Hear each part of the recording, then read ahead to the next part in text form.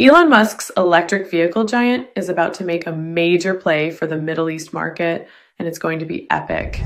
That's right, Tesla is officially launching in Saudi Arabia on April 10th, 2025, with a big event at the Bujairi Terrace. But that's not all. They're also setting up their new regional headquarters in the historic city of Diriyah. This move is part of the Saudi government's ambitious Vision 2030 plan, which aims to boost EV adoption to 30% and grow the market to a whopping $20 billion. And with Lucid already producing 150,000 EVs per year in the kingdom, the stage is set for an electric vehicle revolution.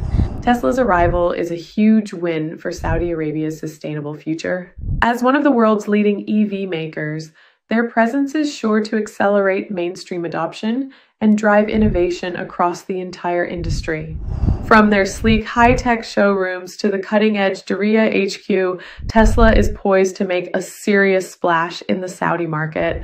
And with Lucid already there, the kingdom is quickly becoming a powerhouse for electric mobility. Like, share, and follow tag Bahrain BH for more